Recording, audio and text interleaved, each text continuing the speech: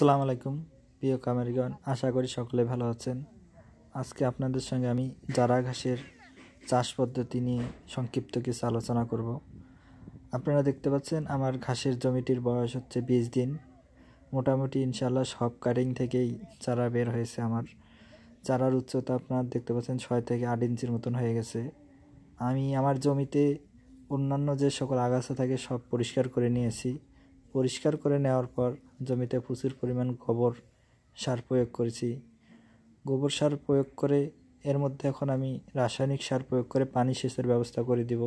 ইনশাল্লাহ মোটামুটি আমার ঘাসটি তিরিশ থেকে পঁচিশ দিনের মধ্যে কাটার উপযোগী হয়ে যাবে।